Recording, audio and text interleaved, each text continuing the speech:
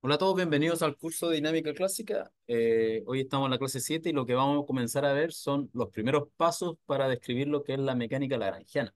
La mecánica que vimos ya en los tiempos de la, en la licenciatura en el curso de Mecánica Analítica, lo que son la licenciatura acá en, en, en la UCN.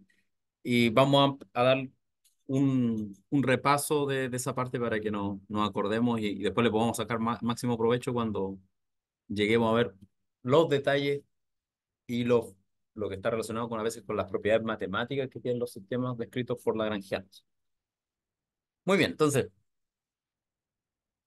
cuando uno habla de mecánica lagrangiana, está haciendo, digamos que un, sea como sea, uno está describiendo la, los mismos fenómenos que describe la mecánica newtoniana, simplemente que uno está tomando un, un ángulo distinto para describir el, el, proceso. ¿ya? En ese sentido, lo que en el caso de la mecánica newtoniana o la mecánica vectorial, que se enfoca básicamente que los agentes que producen el movimiento de los objetos son las fuerzas, en el caso de la mecánica lagrangiana hay una reformulación de, de esta en términos de lo que se conocen como coordenadas generalizadas, que no van a estar directamente, bueno, están relacionadas a las coordenadas espaciales a las que estamos acostumbrados, pero pueden ser relaciones un poquito más profundas que tengan una mejor descripción de, la, de, de los movimientos. Y, el otro concepto importante en la descripción de la mecánica lagrangiana es lo que se conocen como eh, relaciones funcionales. Básicamente, cuando ustedes tienen que las soluciones de un sistema mecánico no dependen directamente de las variables espaciales propiamente sino que de relaciones entre funciones, las cuales ayudan a describir el movimiento, o lo, o lo que serían las ecuaciones de movimiento del sistema, cómo se mueve un, un objeto. Dentro de todo esto, en la mecánica lagrangiana, uno de los objetos importantes va a ser el, lo que se conoce como lagrangiano, que en términos simples uno lo puede pensar que es como la energía cinética menos la energía potencial de un sistema, pero en, en cierta manera el uso de los lagrangianos no solamente se, se, se reduce al caso de mecánico propiamente tal, se puede usar en, en operaciones relacionadas con, con cálculos variacionales, cálculos de minimización de objetos en matemáticas, y también para describir sistemas a nivel de, de, por lo menos si uno quiere describir eh, sistemas para las gráficas de computadores, se utilizan lagrangianos ya que son parte integral de poder describir un proceso donde uno requiere minimizar un montón de variables para poder trabajar de forma consistente. En el caso de las que se conocen teorías de campo, o sea, teorías cuando uno ya tiene unos medios continuos, los lagrangianos también son útiles porque nos permiten describir procesos relacionados, por ejemplo, con el electromagnetismo, con la propagación de ondas, ya sea en el, en el aire, en materiales, en una cuerda. De esa manera, el lagrangiano ha sido, mm, en cierta forma, en física, uno de los objetos integrales para describir mucho, mucha de la física actual, de la física moderna.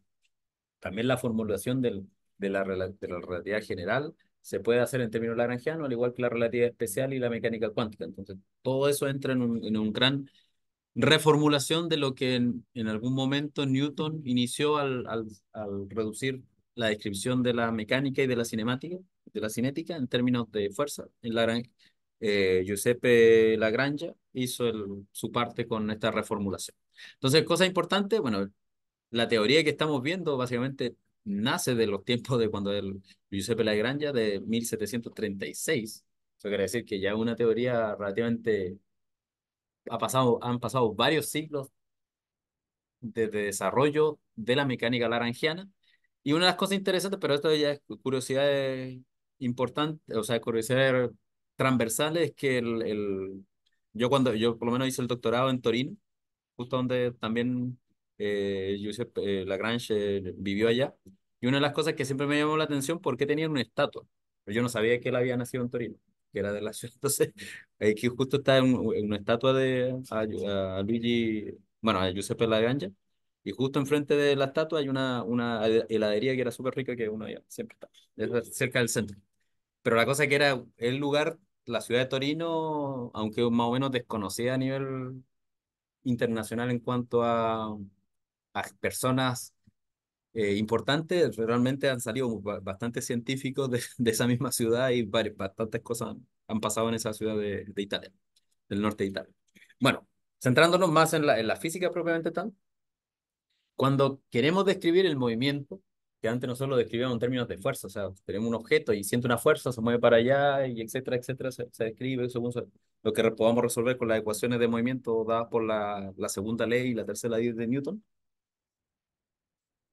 Cuando uno quiere ir al, a las, al núcleo de los movimientos, especialmente cuando los movimientos eh, los podemos considerar como caminos que ocurren en el espacio-tiempo, lo que uno tiene que pensar es que ese camino que se está recorriendo es en realidad un movimiento que está restringido, restringido en parte por la presencia de fuerza o presencia de, de distinto índole que obligan a un objeto a seguir un cierto camino a medida que evoluciona por el tiempo, en el, en el, paso en el tiempo.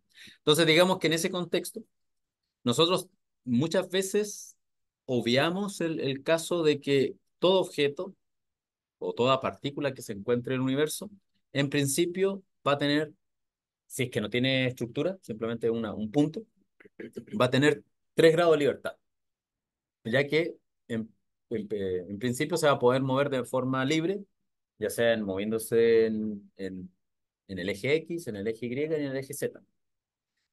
Sin embargo, eh, eso es solamente cuando consideramos una partícula si consideramos muchas partículas o, por ejemplo, n partículas, el número de grado de libertad va a ir creciendo a medida que el número de agentes estén presentes en nuestra dinámica o en nuestro sistema mecánico. Si consideramos, por ejemplo, que tenemos un gas de partículas, entonces, si consideramos un gas de n partículas donde las n partículas se mueven libremente sin choques entre ellas, entonces en principio vamos a tener un sistema que va a tener 3 por n grados de libertad que ya significaría, desde el punto de vista de Newton, tener que resolver o encontrar 3n ecuaciones de movimiento para poder describir el movimiento de esas partículas cada una por separado.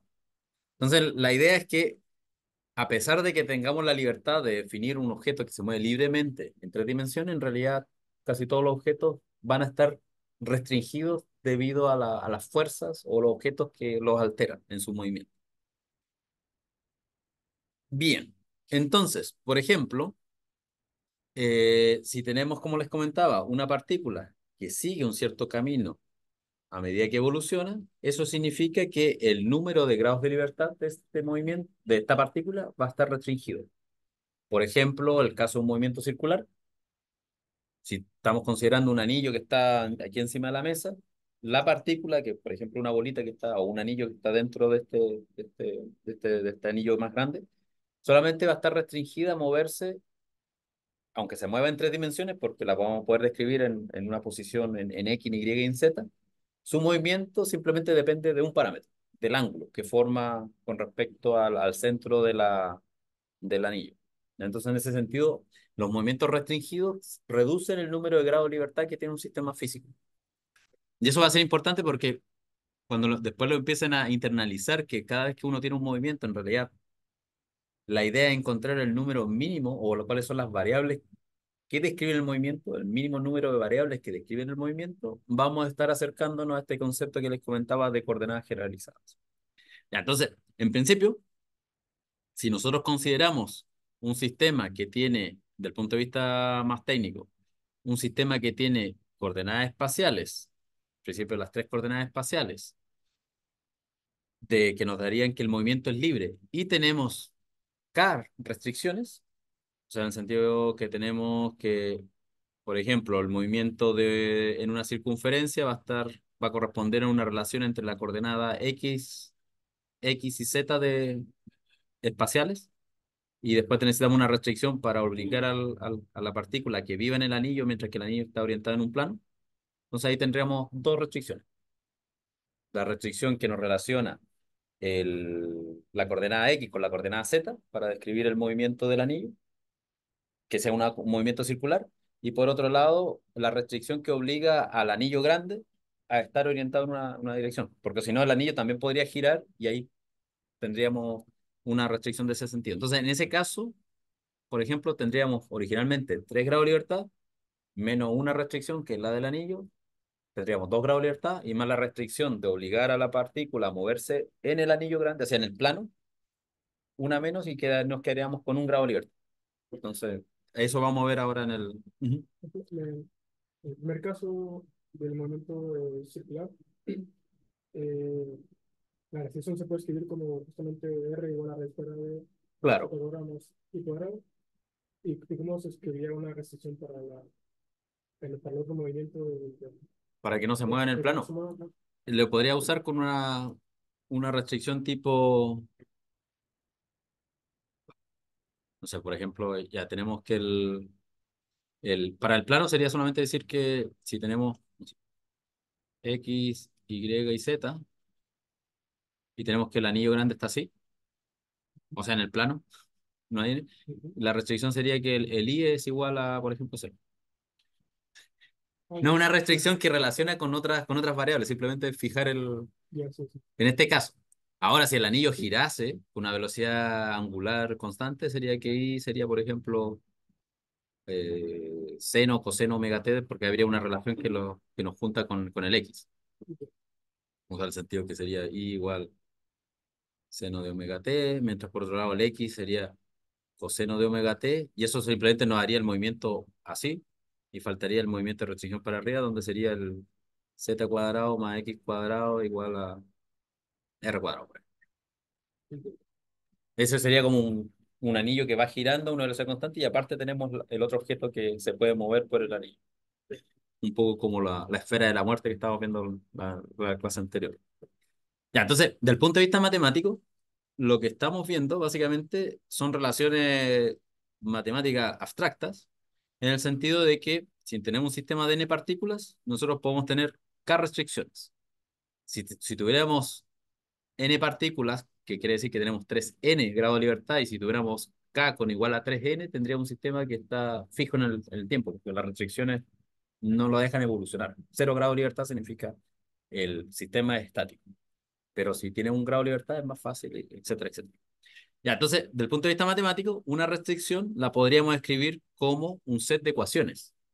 Aquí tenemos la función de la restricción jésima, que relaciona todas las variables espaciales, los n vectores posición, y el tiempo en una única restricción.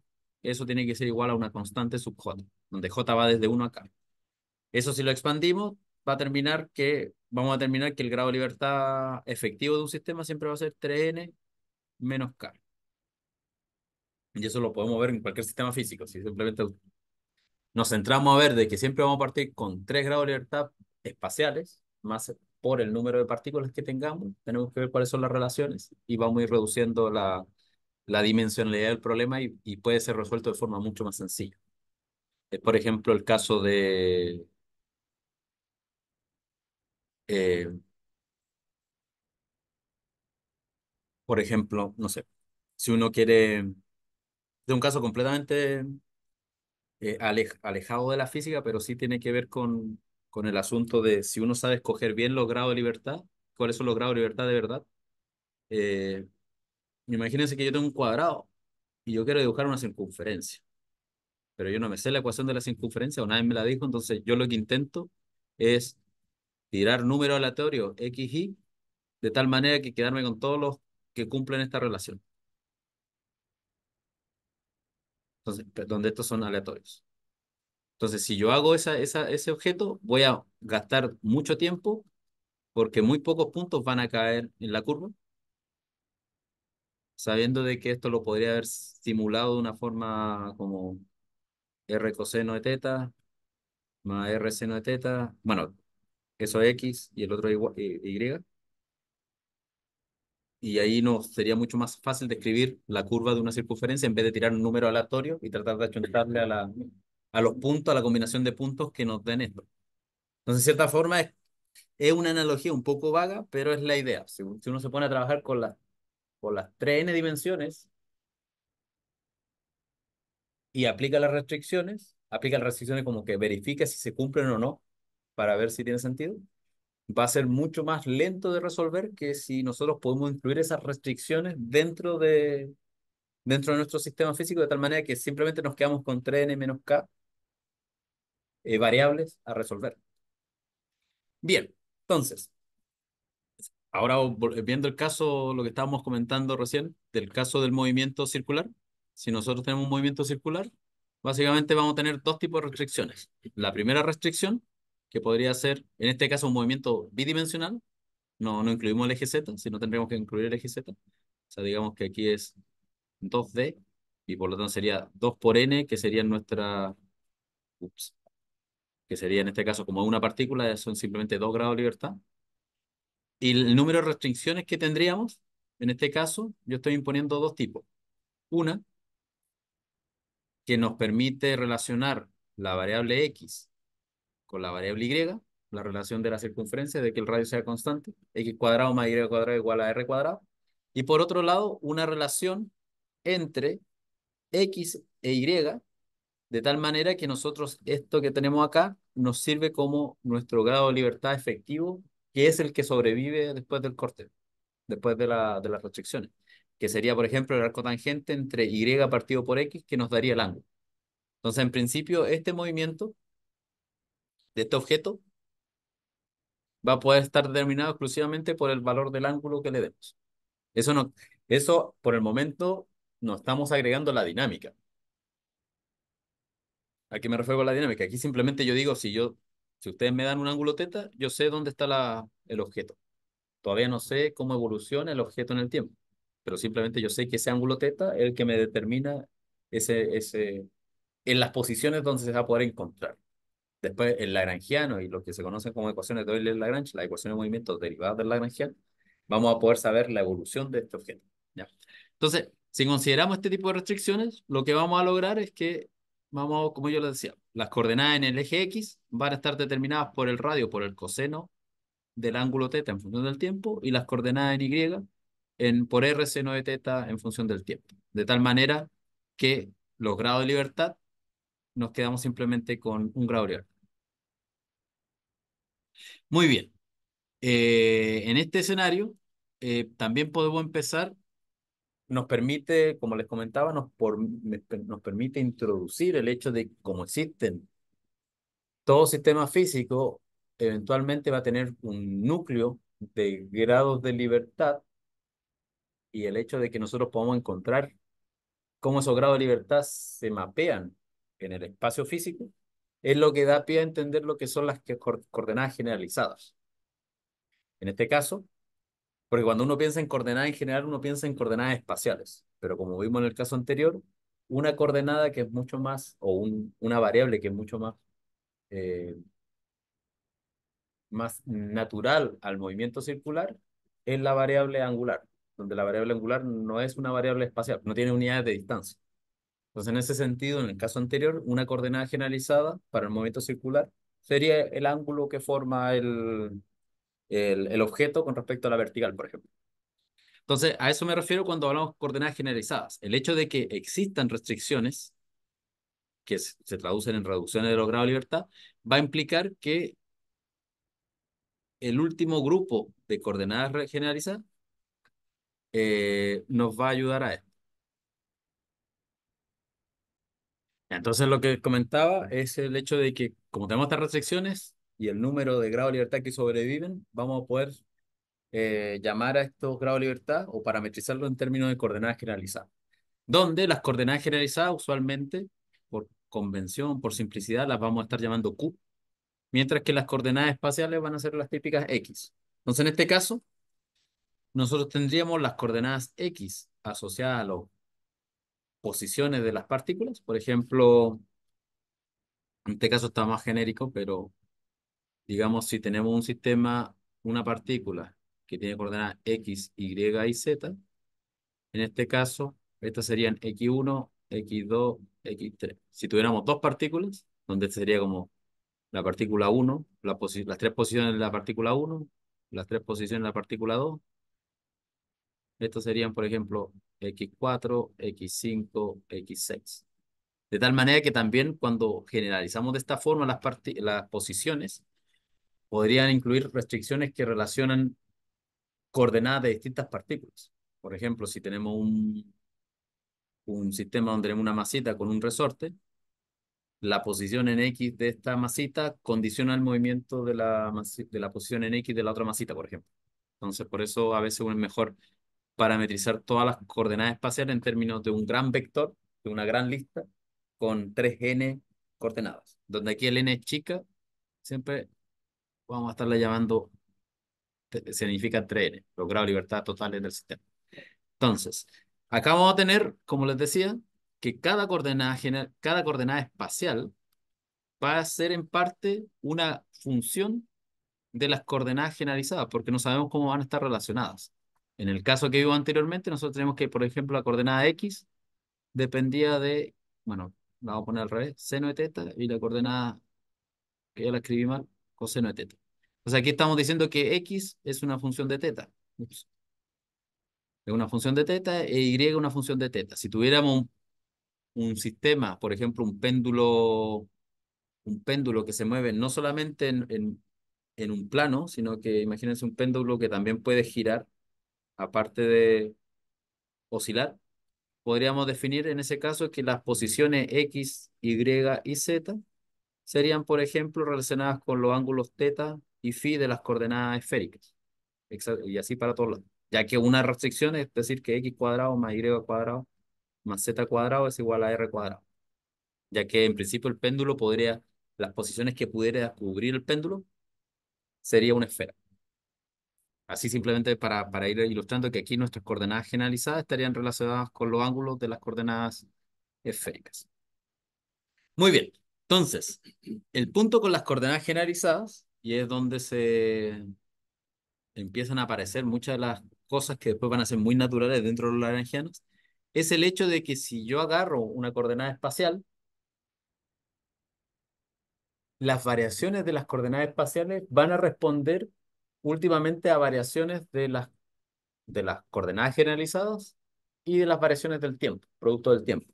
En el sentido de que si las variaciones son pequeñas, infinitesimales, lo que se, se va a trasladar a la coordenada espacial x sub y va a estar relacionado a las variaciones de las coordenadas, bueno, las derivadas parciales de las coordenadas x sub y con respecto a cada una de las coordenadas generalizadas por la variación de la coordenada generalizada y también cómo varía la coordenada propiamente tal cuando depende del tiempo, de la derivada parcial de la coordenada x sub y con respecto al tiempo por la variación del tiempo.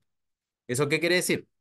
Que si yo tengo, volviendo al caso de mi, de mi objeto que está en un anillo de movimiento circular, básicamente lo está diciendo que si yo tengo ese objeto y ese objeto varía en X o en Y, este cambio va a estar relacionado solamente al movimiento, en este caso como hay solo una coordenada generalizada de teta, o sea, teta, al movimiento que pueda generar, se puede ser inducido solamente por la variación en el ángulo. O sea, eso quiere decir que de X va a ser la derivada de X con respecto a teta por cómo variamos teta, más si es que llega, hay algún tipo de velocidad asociada al movimiento. O sea, si lo dejamos evolucionar en el tiempo, eh, esto traía el juego. Si consideramos solamente el movimiento virtual, que se va a llamar más adelante, el, el movimiento en este caso va a estar relacionado con eso. Y esto va a significar que básicamente las variaciones de esto, si x era coseno de teta en este caso, las variaciones en dx van a estar relacionadas con menos seno de teta por lo que variemos en el ángulo teta. Entonces, el movimiento que está definido por el valor de teta, o sea, la posición está definida por el valor de teta, las variaciones en torno a esa posición van a estar relacionadas con respecto a las derivadas de las coordenadas espaciales con respecto a las coordenadas generalizadas. Y eso es un punto súper importante. De hecho, este tipo de relaciones las vamos a estar usando toda la parte de mecánica lagrangiana porque nos, y hamiltoniana porque nos permiten sacar propiedades de las dependencias que tienen las coordenadas unas con otras, del espacio de coordenadas físicas con el espacio de coordenadas generalizadas. Y bueno, esas, derivadas son, se pueden ver también como jacobianos, ¿no? Eh, Exactamente. Pero la cosa, sí, un jacobiano, básicamente es como un jacobiano, eh, pero aquí tienes que considerar que tu matriz jacobiana no sería cuadrada, sería rectangular, porque puedes tener más coordenadas espaciales que coordenadas generalizadas. Entonces te quedaría una matriz media... O sea, digamos que esto tú lo podrías pensar como un gran vector, el vector de los X, una matriz jacobiana, y eso está multiplicado por el, por el vector de los Q, me quedo como G, vector de los Q y el dt. Entonces este objeto que estaría aquí serían las, todas las derivadas en todas las direcciones para que Si esto, por ejemplo, tiene dimensión 3n y esto tiene dimensión k, k más 1 por el tiempo, eh, esto tiene que ser una matriz 3n, 3n por más 1 para que cuadre. Tiene la idea de ser una, como una matriz jacobiana, pero, pero no es tan directo. Usualmente las matrices jacobianas son del mismo orden de, de las coordenadas. O sea, tú mapeas tres coordenadas en tres coordenadas. Acá perderías información de cierta forma porque están las restricciones que, que las relacionan un poco más fuerte. Bien, entonces, una cosa importante, que es lo que permite después poder establecer lo que es el probablemente este objeto que aún no lo hemos definido, pero ustedes ya lo han visto en los cursos anteriores, es el hecho de que eh, Lagrange consideraba el hecho de que yo puedo analizar el movimiento de, mi- de mis coordenadas espaciales en lo que él denominó eh, desplazamientos virtuales. Desplazamientos virtuales básicamente son movimientos de mi... ¿Cómo respondería mi sistema si es que yo cambio, varío mis coordenadas generalizadas, pero no hago evolucionar el tiempo? Ya que hacer evolucionar el tiempo significaría que el, el, el, desplazamiento sería un desplazamiento real, porque es parte de la evolución del sistema. En este caso es como que alguien congela el tiempo y empieza a mover las coordenadas solamente para ver cómo reacciona el sistema, pero sin afectar posteriormente a la dinámica de ello. Entonces, en ese sentido, la, la, los desplazamientos virtuales, como les digo, van a ser desplazamientos instantáneos, que es solamente para estudiar las variaciones de las coordenadas espaciales. En ese sentido, un desplazamiento virtual, que le vamos a poner la letra delta, a diferencia de que en el otro caso, cuando tenemos las variaciones que van a ser más genéricas, más generales, que incluyen al tiempo, van a ser d, como para ir haciendo las diferencias entre, en notación.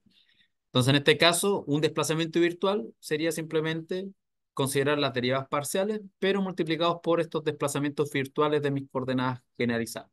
Simplemente para ver cómo responde el sistema a que yo cambie el valor de la, de la coordenada generalizada sin, sin, ningún, sin ningún efecto en la dinámica. Entonces, básicamente es lo que yo tenía aquí.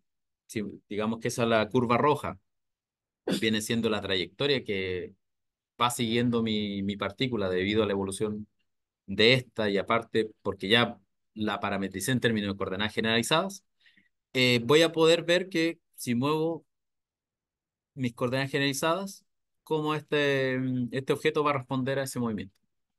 Lo mismo que en el caso del movimiento circular, si yo muevo el ángulo θ en un d θ, una cambiaba en seno y otro en coseno. Ahora, si lo dejo evolucionar, incluyendo el tiempo, ya sería otro, otro efecto. Muy bien. Entonces, una de las cosas que se añade a la descripción lagrangiana que le da el sentido a muchas cosas y posteriormente cuando veamos también lo que se conoce como principio de Hamilton, es lo que otro principio, tal vez no tan conocido en física más que el principio de Hamilton, pero es el principio de D'Alembert, que básicamente el principio de D'Alembert nos indica que si yo tengo un movimiento virtual, un desplazamiento virtual, eh, los, las fuerzas que restringen el movimiento tienen que producir trabajo cero. Y es una cosa que a veces uno se queda pensando qué significa eso. O sea, si yo tengo un movimiento, por ejemplo, si tengo el, una, la taza que tengo acá encima del... Yo tengo la taza y la pongo sobre la mesa, yo sé que la taza no sigue cayendo porque está la mesa siendo una fuerza normal. Entonces aquí la fuerza normal estaría actuando como una fuerza de restricción, porque obliga a la, a la taza de que si se quiere mover, no se puede mover para abajo, solo se puede mover por encima de la mesa. Y por lo tanto, si es que eh, obviamos la existencia del roce, esa fuerza de restricción, que es solamente una fuerza normal que apunta en la dirección perpendicular a la mesa, eh, no importa el movimiento que yo haga, siempre va a tener que producir cero trabajo. Porque está, es solamente una fuerza que está ahí, desde el punto de vista de la mecánica eh, newtoniana, es una fuerza que está ahí para asegurarse de que el objeto siga el camino restringido. Ese es como la, lo que está detrás del asunto. Aquí es cuando uno empieza con hartos detalles sobre, sobre los movimientos de los objetos. Entonces, en este sistema, que el principio de Lambert, nos dice que los movimientos, eh, los movimientos de, mm, virtuales, las fuerzas de restricción producen cero trabajo. No, no, no afectan al, no afectan al final a la cantidad de energía que tiene el sistema. Entonces, eso va a ser importante porque el, como les decía, en el caso de un movimiento circular, esto va, las fuerzas de restricción va a asegurarse de que el movimiento siga siendo circular. Dime. Eh, eso también debería cumplirse cuando el desplazamiento es real, ¿cierto? Sí, pero nosotros vamos a poder hacer un movimiento un poquito más complicado, bajo, porque el movimiento real va a tener que satisfacer en ciertas formas, sí, saliendo un poco de la mecánica lagrangiana, el movimiento real está determinado por las ecuaciones de movimiento, o sea, por la ecuación, la segunda ley. Entonces, en ese sentido, sí puedes tener fuerzas que realicen trabajo. O sea, si yo agarro la taza y la, levanto, pero bajo movimientos virtuales donde no transcurre el tiempo, las fuerzas no puedo, una fuerza de restricción no puede producir trabajo. No sé si me entiendes, que el, el hecho de que cuando hay una fuerza real, un desplazamiento real, un desplazamiento que incluye el tiempo, el trabajo va a estar dado en parte por la integral de la fuerza por el desplazamiento, pero ese desplazamiento es un desplazamiento de evolución temporal, o sea, por, porque el objeto se mueve en el tiempo. Mientras que en el caso de una, un desplazamiento virtual, ese desplazamiento no está relacionado con, con la ecuación de movimiento porque es simplemente un, un desplazamiento ficticio. Simplemente yo lo estoy, estoy moviendo el, el objeto para ver cómo reacciona, sin cambiar a la energía del sistema. Por eso no hacen trabajo.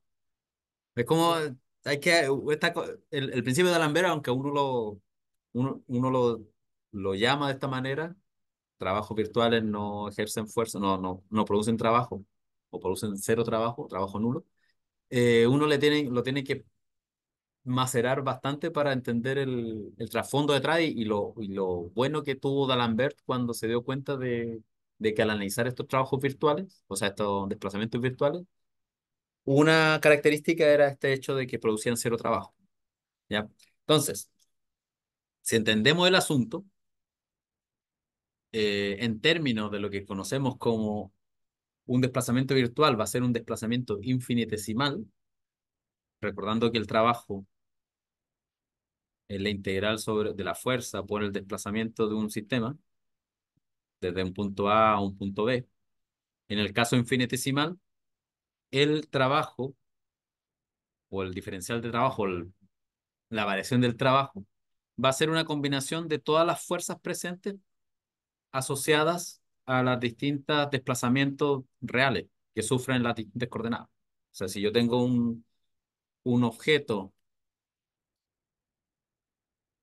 si yo tengo un objeto aquí y básicamente yo quiero entender cómo el trabajo, tendría que ver cómo cambia en las coordenadas horizontal y vertical para entender que la variación del trabajo va a estar relacionado a las fuerzas que estaban presentes en las, en las coordenadas X más las fuerzas presentes punto en las coordenadas Y. O sea, multiplicado acá.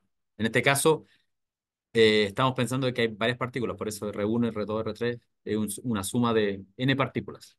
Eso cada uno es la componente X de la fuerza por el desplazamiento en X, por la componente Y, por- son productos puntos.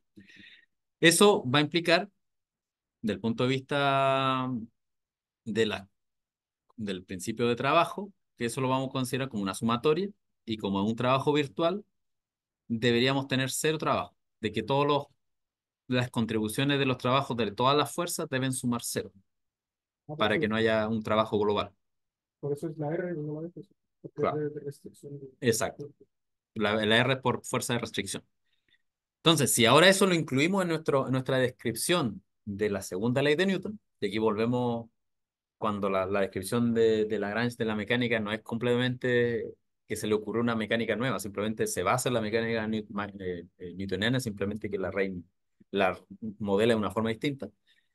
Considerando la segunda ley de Newton, que básicamente nos dice que la variación del momentum lineal en función del tiempo, o sea, la derivada del, función, del momentum lineal en función del tiempo, tiene que ser igual a la suma de las fuerzas existentes en el, actuando sobre la partícula iésima, que en este caso son las fuerzas externas, más las fuerzas de restricción, que las podemos pensar como las fuerzas internas del sistema, eh, nos vamos a dar cuenta que todo esto, como son el sistema de fuerzas, va a tener que, en términos de, la, de los pla- desplazamientos virtuales, tienen que sumar cero, ya que en parte esto que está acá, en cierta forma, nos tiene que dar un cero, porque estamos, son la- es la misma ecuación de movimiento la que estamos introduciendo en el sistema. O sea, esto tenemos como todas las fuerzas del sistema, que son las fuerzas puras, las que hacen el movimiento, las fuerzas de restricción, y esto sería la parte dinámica de nuestro sistema, que la variación del tiempo del momento lineal.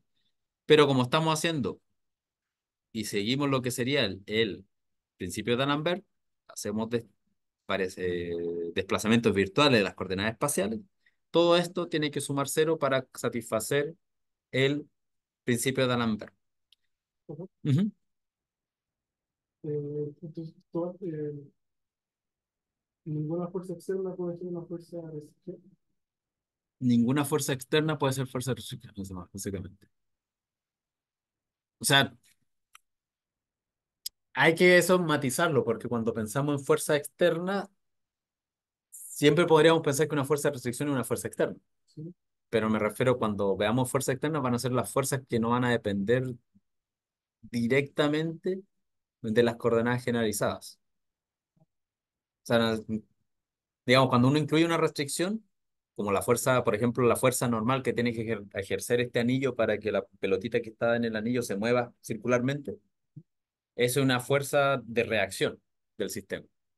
Una fuerza normal, una fuerza de contacto entre dos, entre el objeto y el camino. Pero claro, uno, uno podría pensar, bueno, esa no es una fuerza de reacción porque en realidad hay interacción entre los electrones que forman cada uno de los, del, no sé, de la pelotita y el camino, entonces, pero es una fuerza fundamental porque está relacionado con, con la fuerza, el principio de explosión de Pauli o no sé lo que sea. Claro, aquí hay que ponerlo con, con matiz de entender cuáles son las fuerzas que uno introduce para que el movimiento sea restringido y cuáles son las fuerzas que logran que el objeto evolucione en el tiempo.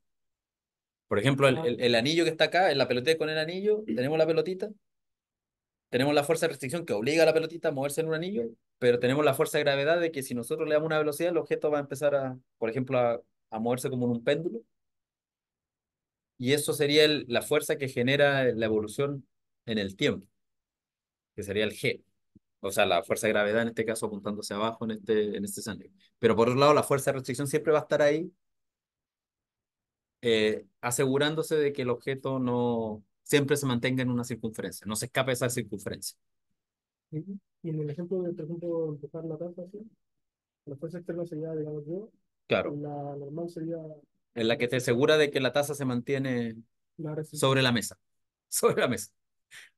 Pero sería la, esa es la fuerza de restricción. ¿no? Claro, Bien, claro. bien. O sea, por un lado serían una combinación de G y N, porque también G ayuda a que la, de que la, la taza no salga volando hacia arriba. O sea, como para, la que obliga a, a, a que la taza se mantenga es la combinación entre G y N, en este movimiento que hacía en, en horizontal. Donde el único capaz de ejercer trabajo sería yo empujándola a la, a la. Bien. Ya, entonces, siguiendo con el principio de, de, de D'Alembert, el hecho de que las fuerzas de restricción no ejercen trabajo, en el caso de los desplazamientos virtuales, obliga a que solamente este término que está acá sea el que sobreviva, sobreviva, porque este que está acá, punto S, va a dar cero, y eso implica de que para que esto da cero, eh, necesitamos que la suma de, la- de las derivadas de los momentum de cada partícula sea igual a la suma de las fuerzas externas. Básicamente la segunda ley de Newton. En cierta forma, esto nos está diciendo de que las fuerzas externas son las únicas que generan movimiento, mientras que las fuerzas de restricciones son las únicas que, bueno, no, no generan movimiento, pero tampoco trabajan, tampoco generan trabajo en el sistema. En parte, lo que no sé si uno puede sacar una analogía similar en el caso de las órbitas, porque en el caso de las órbitas la única fuerza es una fuerza central. Entonces, cualquier movimiento que sea tangencial, o, básicamente lo que pasa con una órbita, que el objeto se mueve sobre una órbita, no está ejerciendo trabajo ese movimiento.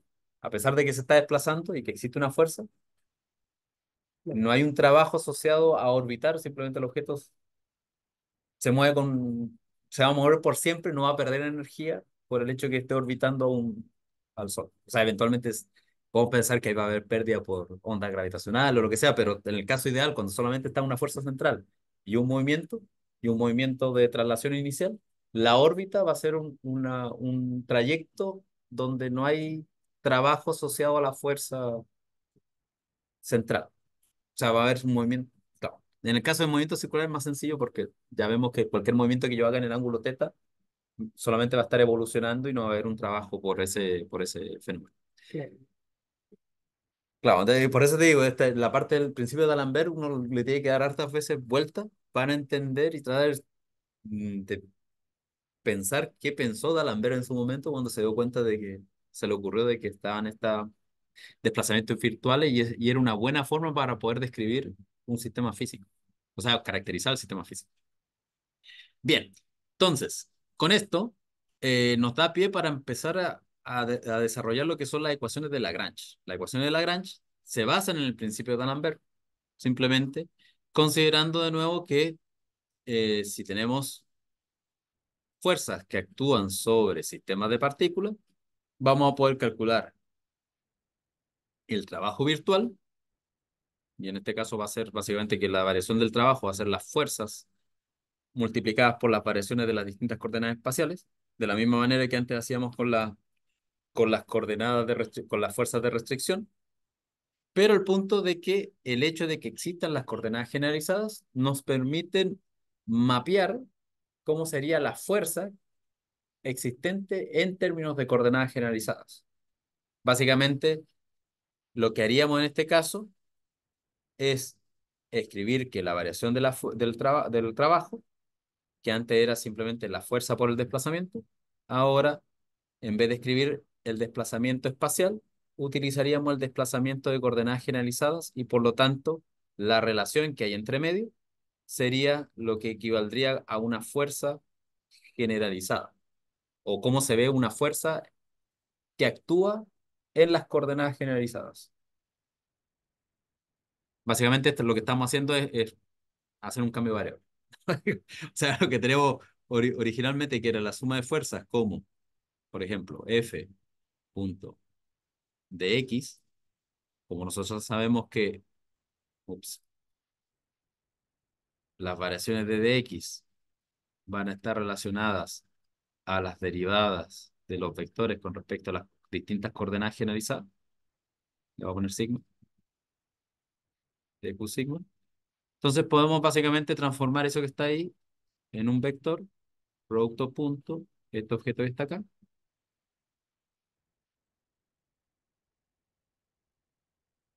donde son las coordenadas generalizadas, y esto que está acá actuaría como el- análogo de la fuerza, pero en el espacio de coordenadas generalizadas. Eso es lo que está detrás del, de lo que vamos a ver ahora. Entonces, en cierta forma, ya el, de la misma manera que nosotros nos estamos abstrayendo de la existencia de las coordenadas espaciales, de las coordenadas que tienen unidades de distancia, vamos a hacer lo mismo con las fuerzas. Vamos vamos a darnos cuenta que las fuerzas no necesariamente tienen que estar en unidades de Newton, por decirlo así, porque si podemos escribir las fuerzas que actúan en términos de estas coordenadas generalizadas que no necesariamente tienen las mismas unidades. Entonces, lo que estaríamos desarrollando acá es lo que se, se llamarían fuerzas generalizadas, o sea, fuerzas que se manifiestan en términos de coordenadas generalizadas o en el espacio de las coordenadas generalizadas. De tal manera que abstraemos el mismo principio de D'Alembert de los trabajos virtuales en términos de las variaciones o de, de desplazamientos virtuales de coordenadas generalizadas en términos de fuerzas generalizadas. Ahora todo es generalizado, porque son, van a ser el número de fuerzas que realmente existen en el sistema, debido a que las coordenadas generalizadas vienen siendo las, los grados de libertad que sobreviven a todas las restricciones, las fuerzas generalizadas van a ser las fuerzas que sobreviven a las restricciones también. Entonces van a ser las combinaciones de fuerzas externas que terminan sobreviviendo al, al, al proceso de, de abstracción de, de grados de libertad. Son, son las, las- como las fuerzas mínimas. Exacto, las fuerzas mínimas, las, claro, porque pues a veces podemos tener un, que en el espacio real, en el espacio de, de, de coordenadas normales de, de, la- distancia, vamos a poder tener combinaciones de fuerzas y después nos vamos a dar cuenta que en el, en el sistema reducido esa fuerza se manifiesta de una forma muy pura. Por ejemplo, un, oscilador armónico, el típico caso que podemos tener un sistema muy complicado de, de fuerzas de dos resortes aquí y dos resortes acá, cuatro resortes, que tendríamos cuatro fuerzas actuando sobre un objeto en el centro. Desde el punto de vista de fuerzas generalizadas, lo más probable es que eso se reduzca a un oscilador armónico o dos oscilador, osciladores armónicos dependiendo de las restricciones que haya, que sería un movimiento mucho más simple de modelar.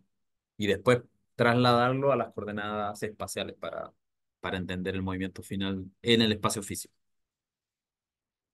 Bien, entonces, de la misma manera, o sea, aquí siempre lo que antes funcionaba para la ley de Newton, ahora lo estamos haciendo funcionar para las coordenadas generalizadas. Entonces, en el sistema de las coordenadas normales, de las coordenadas de distancia, la ley de Newton básicamente era la variación del momento en función del tiempo, la derivada del momento en función del tiempo, que sería el equivalente a la fuerza, ya que eso es igual a la fuerza externa más a la suma de la fuerza externa, con respecto a la variación de las coordenadas espaciales, una distribución, una variación, un desplazamiento virtual, perdón, si lo simplificamos un poquito, sin asumir que hay cambio en el valor de las masas de las partículas, simplemente masas constantes, eso sería igual a la masa por la aceleración, o sea, la segunda derivada de nuestras coordenadas espaciales.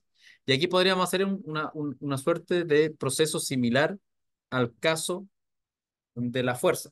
Como antes teníamos las fuerzas generalizadas, que dependían de la fuerza por las derivadas de nuestras coordenadas con respecto a la coordenada generalizada, vamos a poder distribuir, generar lo que serían los desplazamientos virtuales generalizados, que en este caso sería lo que antes teníamos aquí como el momentum lineal por su, coordena, por su coordenada espacial, lo que podríamos generar es cómo sería la, la derivada del momentum lineal, en cierta forma, pero en el espacio de las coordenadas generalizadas.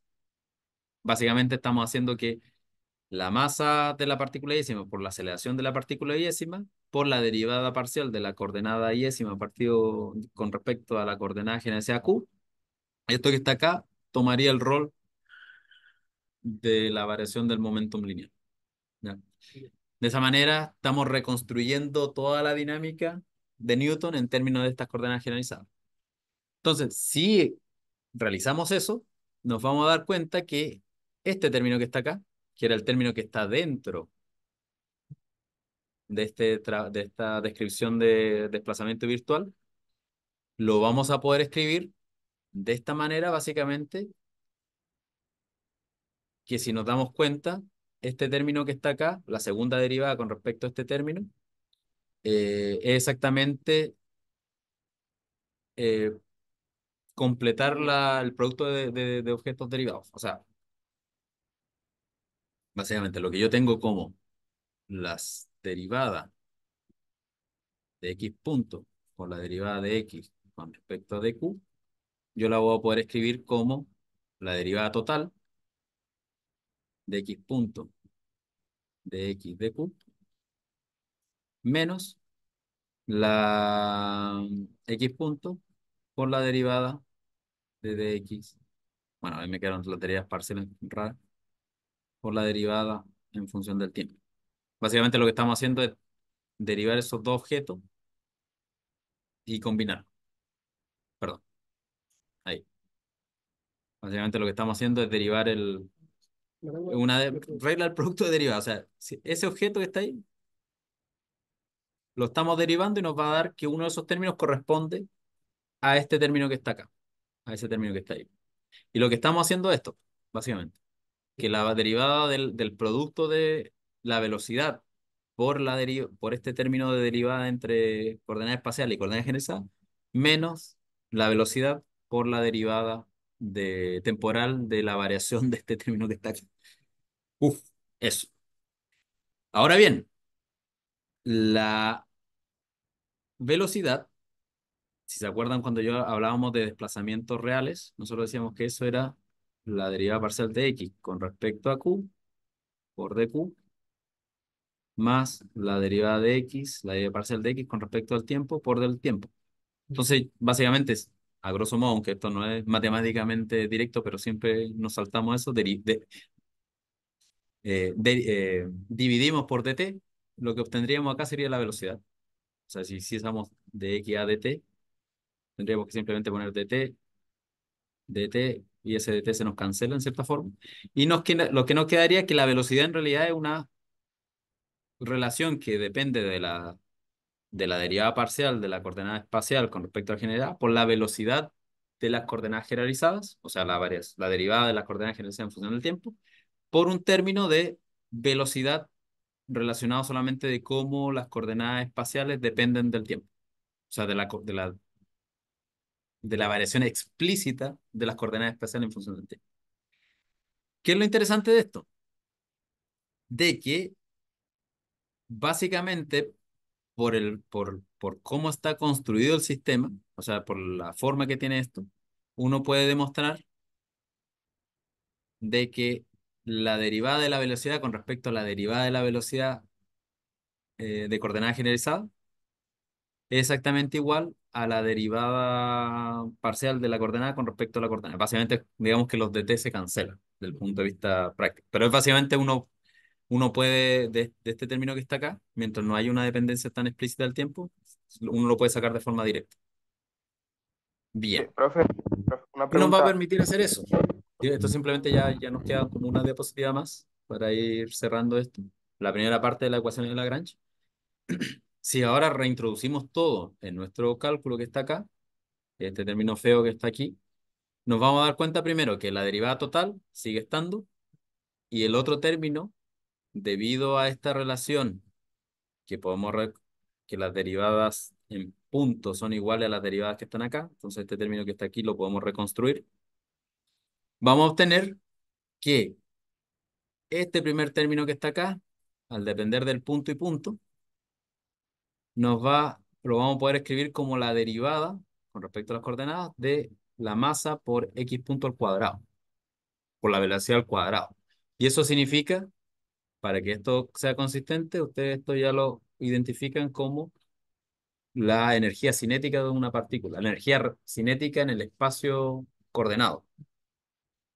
Y por lo tanto, lo que estaríamos teniendo acá sería, como aquí tenemos la derivada parcial con respecto a Q punto, sería ese término que está acá, que está relacionado con, la, con el, el desplazamiento virtual en la coordenada espacial originalmente, va a corresponder a la derivada en función del tiempo de la derivada de la, de la energía cinética con respecto al, a Q punto, a la derivada de Q punto. Ya más o menos aquí estamos entendiendo de dónde está saliendo el primer término del cuando posteriormente vamos a encontrar lo que son las ecuaciones de movimiento, la ecuación de Lagrange.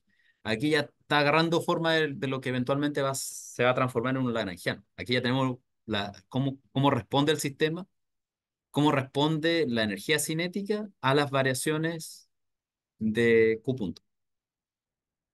Entonces, básicamente el término que teníamos originalmente el segundo término, perdón, de, nuestra, de nuestra expresión, ese término, y tenemos el segundo término. El segundo término lo vamos a poder escribir en términos de las variaciones de nuestra energía cinética de nuevo, pero con respecto a Q, en vez de Q punto. Y vamos a tener este segundo término que está acá. Aquí no está la derivada en función del tiempo, simplemente la derivada directa de la energía cinética con respecto a Q. Juntando ambas cosas, lo que estaríamos obteniendo es que eh, bajo el principio de D'Alembert de las variaciones virtuales sumen cero, necesitamos que lo que vamos a tener dentro, que dependía en parte de las fuerzas generalizadas y de este otro término que está relacionado con la dinámica o con el momentum o lo que sea generalizado, eh, lo que tenemos acá es la derivada en función del tiempo de, la derivada parcial de la energía cinética con respecto a Q punto, menos la derivada de la energía cinética con respecto a Q, menos las fuerzas generalizadas por estas variaciones tienen que ser igual a cero. Como en principio las variaciones son arbitrarias, porque una variación virtual no está siguiendo la evolución del sistema, yo la muevo como quiero, la única forma de respetar el principio de Lambert es que esto que está aquí en el paréntesis tiene que sumar cero. Por lo tanto, dándonos que para respetar la, el principio de D'Alembert, necesitamos que la derivada del temporal de la derivada de Q punto de la energía cinética menos dt a, de, a dq tiene que ser igual a las fuerzas virtuales. Y esto en cierta forma está gritando ecuaciones de Euler-Lagrange, ecuaciones de movimiento, ecuaciones de Lagrange, perdón. Todavía no he visto la parte de Euler. Esto en general, si se acuerdan cuando vimos al principio del curso, en la primera clase, hablamos del principio de energía, de trabajo y energía, que simplemente relacionaba las variaciones de la energía cinética con las variaciones, con el trabajo de una fuerza. Y posteriormente vino el principio generalizado de trabajo-energía, que incluía el hecho de que existían energías potenciales. Esto sería la primera parte del principio de trabajo-energía, cuando solamente alguien conoce lo que es la energía cinética y las fuerzas. Entonces estamos relacionando, es, de ahí viene, digamos, el primer paso. Posteriormente, cuando sepamos que podemos escribir la fuerza generalizada en términos de energías potenciales generalizados, vamos a encontrar la forma del laranjiano que estamos más acostumbrados. Entonces eso es lo que vamos a ver ahora, exactamente igual. Eso es lo que estaba comentando. Como las fuerzas, o por lo menos en el caso de fuerzas conservativas, son el resultado de derivadas de las energías potenciales con respecto a las coordenadas espaciales, o menos las derivadas para satisfacer el principio, de el principio general de trabajo y energía, eso quiere decir que una fuerza generalizada, debido a este juego que tenemos con las derivadas parciales, una fuerza generalizada va a corresponder a la derivada parcial de la fuerza o al gradiente de la, de la energía potencial con respecto a las coordenadas generalizadas, a nuestro número reducido de coordenadas de grado de libertad.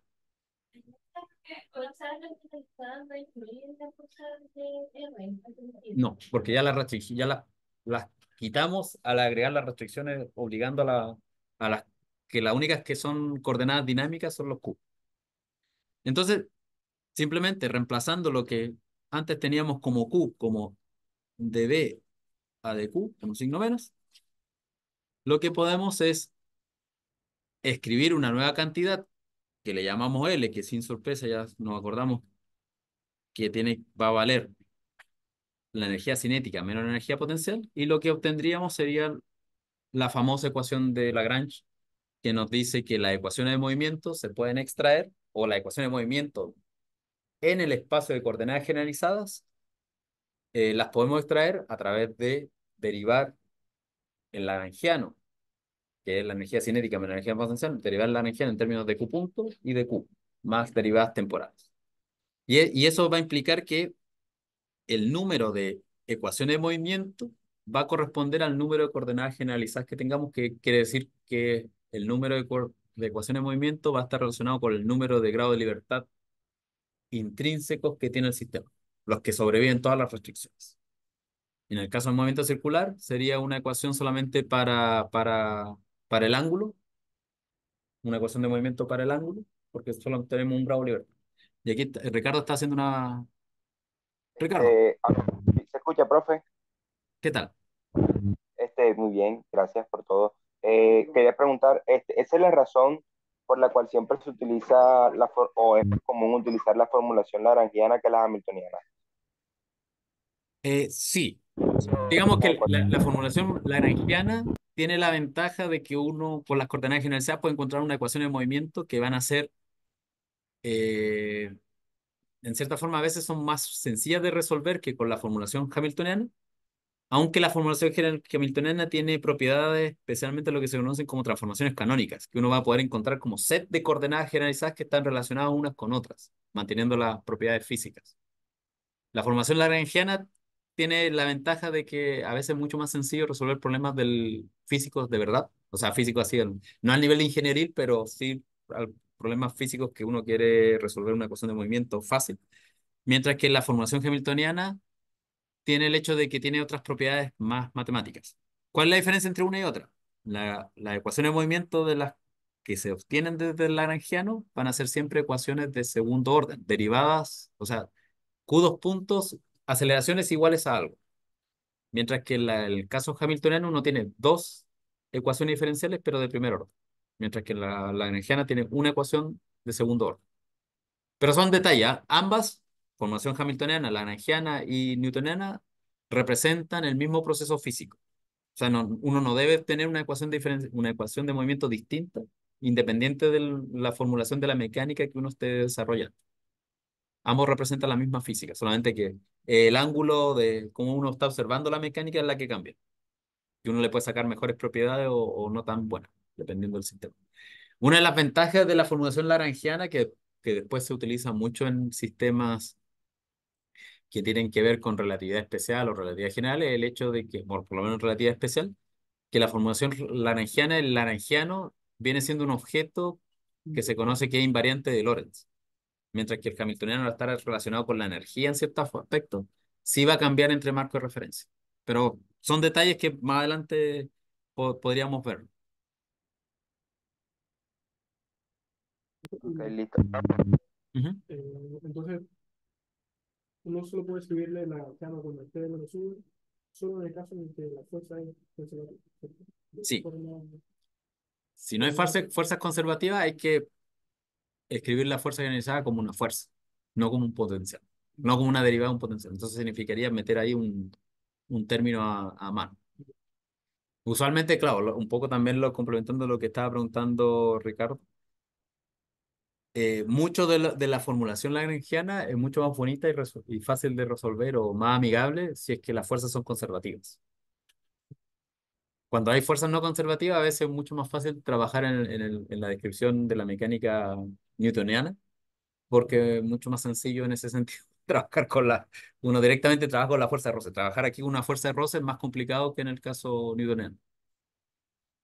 Bien, entonces. Ah, y para terminar, un ejercicio para, para que vayan soltando la mano con esta parte. Este es del capítulo, del capítulo 3 de Mecánica Lagrangiana del Féter y Baleca, para que lo vean aquí una, cómo se, se mueve un sistema.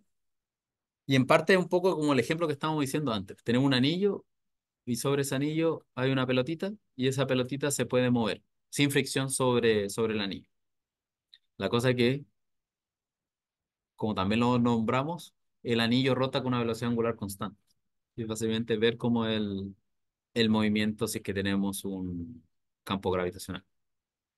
Entonces, en este caso, uno tendría que definir lo que es la energía cinética y la energía potencial del sistema, agregar las restricciones para poder entender cuáles son las coordenadas generalizadas, que en este caso, como es un anillo que rota, las coordenadas generalizadas van a estar relacionadas con las coordenadas, con los ángulos de las coordenadas esféricas y darse cuenta cómo resolver el sistema para, para encontrar. Esto en parte también recordarse el curso de mecánica newtoniana en su momento, mecánica analítica, perdón, en su momento, no, para que no, no se olviden de esa parte de mecánica lagrangiana. O sea, igual vamos a seguir repasando y viendo aspectos un poquito más profundos con respecto al curso de pregrado, pero para que no, no se olviden de que los lagrangianos son, son nuestros amigos. Bueno, voy a parar la grabación para que, para que después lo pueda subir al, al YouTube.